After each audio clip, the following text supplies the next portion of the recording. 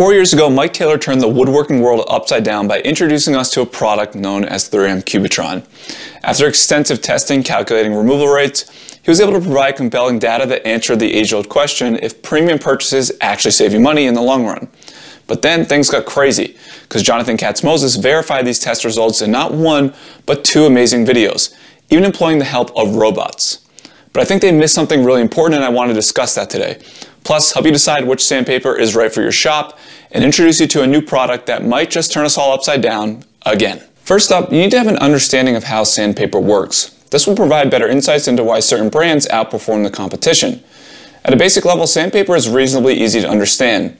There is an abrasive material stuck to some type of backing, and the cheaper the materials used, the worse the sandpaper. The worse the sandpaper, the more time you spend sanding with inconsistent results. So what are the cheaper materials you need to be on the lookout for? Traditional lower to mid-grade sandpapers, generally sold at home centers or on Amazon, use aluminum oxide as the abrasive material. And just so we're clear, the abrasive is what actually cuts the wood fibers. A bonding agent is applied to a paper backing, and then the aluminum oxide is electrostatically charged and jumps up onto the paper where it adheres with the bonding agent. Voila, sandpaper. As the price points increase, different abrasive materials and backings are used, and we'll discuss that later on. But what about grits? What is a grit anyways? Very simply, the lower the grit, the coarser the sandpaper and the more material you will remove. The higher the grit, the smoother the surface. To get a uniform grit from one sheet to the next, the abrasive material is sent through a sifting machine, and the filters only allow specific sized particles to pass through. The actual size of the grit is then calculated by how many particles of the abrasive can fit through a 1 inch square filter. So on your standard 80 grit sandpaper, 80 pieces of aluminum oxide can fit through that square. Let's go back to their test results and I'll leave links to their findings if you want to review for yourself later. Since the overall goal of sanding is to remove material while leveling and smoothing a surface, the most important metric was cost per gram of wood removed. Just because a sandpaper is expensive doesn't mean it actually works well, and vice versa for the lower end. For instance, on the cheap side, at a measly 80 cents per disc, you can become the proud owner of the lovely Bosch sandpaper. Sadly, it removed the least amount of material by a long shot, resulting in one of the highest costs per gram removed at over 58 cents. Conversely, the winners of the test, while more expensive on a per disc basis, removed so much more material that their cost per gram removed came in at 3 to 4 cents, quite a bit less than 58. Now, as a general rule of thumb, after about 25 minutes or so of sanding, even the best performing disc has reduced its effectiveness by around 50%. So once you get halfway through a podcast, change out your disc because you're going to spend more time sanding than necessary. But what didn't they cover? In my opinion, the missing piece from their test was analyzing the finish left behind from each paper. Removing material is important, but if it's too aggressive and there are visible scratch patterns, that's not very helpful. To keep this kosher, I'll be sanding the same board using my standard process. I start with scribbling lines all over the work surface. The idea here is once the lines have disappeared, you sanded that area enough and it's time to move on. I do this in between each grit. I started with 80, this is 120, then 150, and finally 180. As far as technique is concerned, no reason to wiggle your sander around or push down. Let the weight of the sander do the work, moving about 1 inch per second. I also want to compare the results of a sander not hooked up to a dust collector. So moving this operation outside and going through the same process. While I'm out here, since it's a lovely day, I figured why not show everyone how bad cheap sandpaper from Amazon is. Oh, by the way, if you want to win $250,000, which would probably cover sandpaper for life, Jackery will be giving you a chance to win that, plus a travel trailer in their Cyber Monday live stream. You can also take advantage of unprecedented discounts. I'll leave links to that in the description below. I'm enjoying sunbathing and sanding outside thanks to their 1000 Pro. It's small and compact while still delivering hours of cordless power. Featuring 1000 watt hours of capacity with 4 USB and 3 AC plugs. There's so many times when I'm too lazy to drag around long extension cords, so having something light and portable that I can leave in the shop will be perfect. The unit charges in under 2 hours when you hook it up to the wall, or if you're feeling really awesome, bring it outside and charge it up using these solar panels, which provides power anywhere. Maybe you want to do a sanding test by a river or in the mountains. Now you can. Point being, stop being a Neanderthal and get yourself portable power. Thanks to Jackery for sponsoring this video. So why did the 3M sandpapers outperform the competitors? For starters, the abrasives are a blend of aluminum oxide and ceramic. Ceramic is more expensive but very hard, which is important in sandpaper. But the real secret sauce is their Cubitron 2 technology. Standard ceramic is rough and irregular shaped, unlike the precision shaped grain that looks like a bunch of tiny triangles, or tortilla chips. The tiny tortilla chips are designed to slice the surface of the material instead of plowing through like you see on the screen now. As the sandpaper is used and wears down, those microscopic tortilla chips are brittle and designed to leave a new sharp edge when they break, instead of dulling, which quickly turns your sandpaper into just paper, I guess. This is really stale. The first 3M disc to take the woodworking world by storm was the 775L, which everyone refers to as Cubitron, but that's not actually the name, that's just the technology. On the plus side, it features a tear-resistant film backing, so it's less likely to fray when sanding edges or something sharp. And this is a key point we'll touch on in a bit. Because of the laser cut spiral hole design, you don't need to waste time lining up the pattern with your sander, and that's always a plus when managing frustration levels. Additionally, the backing and design allows you to use the 775L without the inclusion of a dust collector, but just because you can doesn't mean you should.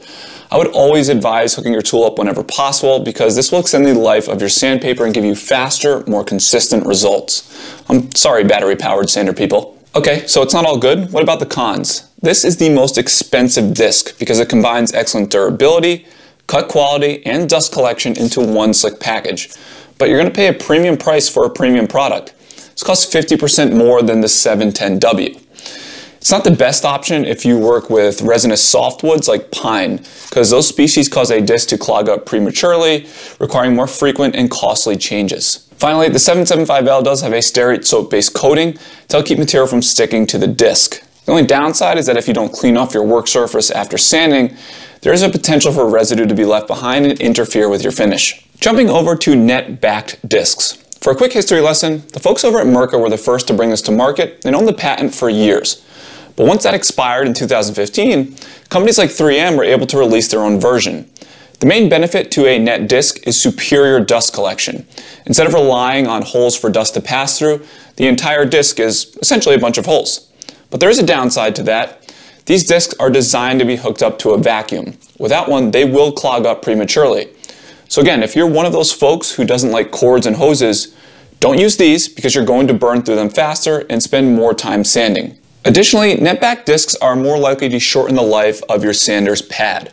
So I'd always use a pad saver that costs only $6 or so to replace versus the 20 to $30 here. In fact, even if you're not using a net disc, it's a good habit to get into. 3M currently offers two net-backed discs, and we will start with the wildly popular 710W. Now, a quick disclaimer, I have no affiliation with 3M and no one is paying me to say any of this. This video is based on facts, thorough tests, and my experience. You've probably heard of the 710W referred to in the woodworking circles as Xtract. However, Xtract is not the actual product name. That refers to the benefits of excellent dust collection when using 3M's net back discs. Companies like to market this as dust-free sanding, but that's bullshit. It should just be called less dusty sanding. But what you gain in dust collection, you generally lose in material removal. That's because the round fibers of a net back discs can't hold as many abrasives as a nice flat surface found on their film counterparts. So how does the 710W remove the same amount of material as the 775L? The secret is this chevron pattern that lays on top of the round fibers and provides a nice flat area for more tiny tortilla chips to adhere to. More tiny tortilla chips standing straight up and perpendicular to the work surface means faster cutting, and since net back discs are cheaper to produce, the 710W is 30% less than the 775L. However, cheaper isn't always better, because there are downsides here. First up, since more abrasives are stuck on the surface of these net discs, they're more likely to fall off during regular sanding. Anyone who uses the 710W has probably seen little fragments of purple grit left behind. If you don't blow or vacuum that away before moving up to a higher grit, you risk leaving behind scratch marks that will show up when finish is later applied. Net disc edges are much more prone to fraying and eventually tearing, so if you're doing anything other than sanding big flat surfaces, you most likely won't maximize the life of the disc. And finally, because these 775L and 710W are so aggressive, you may need to sand to a higher grit than normal to ensure all of your scratch patterns are actually gone. I'll show you an example of that in a minute. You've probably been wondering about the new product I mentioned at the beginning of the video. Meet the 310W. Another net disc, but unlike the 710, this does not have the chevron pattern on top. Sadly, the 310W wasn't included in the original grams remove test because it wasn't available. Fortunately, Mike Taylor still has the same piece of ash from his original trials and was able to recreate the tests for all of you at home. And the results are interesting. On average, the 775L and 710 removed around 92 grams of material after 25 minutes of sanding, for an average removal cost of 3 to 4 cents per gram removed.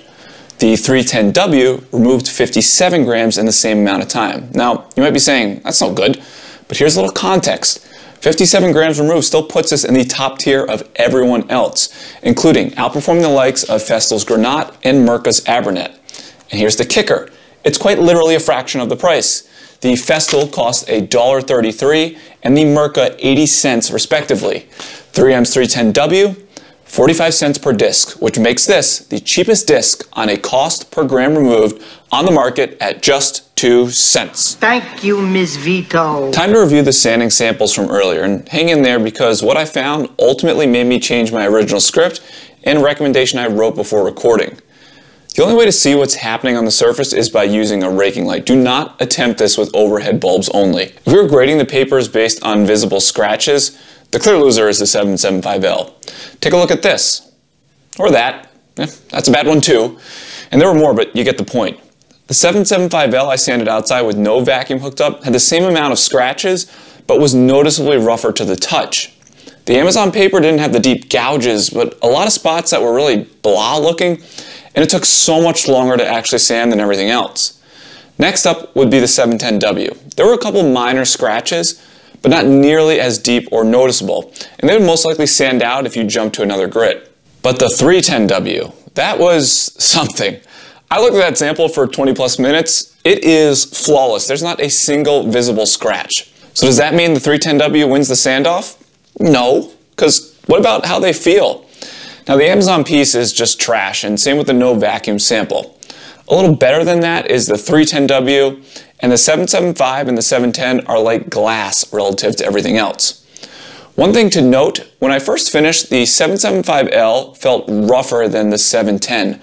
But after a lot of vacuuming, there's no noticeable difference between the two. So there is certainly some truth to much improved dust collection with a net disc. So which one should you buy? If you're on a budget or work with resinous woods often, like Home Depot 2x4s, I would recommend the 310W. It's the best bang for your buck on the market by a large margin. And if they rip or clog up early from sap, it's not going to cost you much. Plus, I'm going to assume you're using some type of a film finish with your American flag noodle boards. So the rougher feel I just talked about won't end up mattering. Now, if your builds have a lot of sharp edges, or you won't be hooked up to a vacuum, wood turners, I'm looking at you, the 775L makes sense. Just be very careful of the deeper scratch patterns and be prepared to jump up a grit or two higher. If you do a lot of big flat builds, epoxy river table people, and you use a mix of hard and soft woods, I'm not sure there's a better disc on the market than the 710W. It's reasonably priced, removes a ton of material, and has a pretty damn good finish to boot. Yes, the edges will rip, but I think these tests have confirmed you're always compromising something. And if the compromise for net discs is they tear faster than film backed, so be it. For some reason, people become enamored with getting hours, days, even multiple projects out of a single disk. But the data shows you're better off switching after 25 to 30 minutes. And at the end of the day, we all want to spend less time sanding, but with better results. For the rest of the year, all three of these options are on sale for 20% off at Taylor Toolworks, so follow the link in the description below. I promise you will not be disappointed. But if you do want to see me be really disappointed after a build, go check out this video. See ya!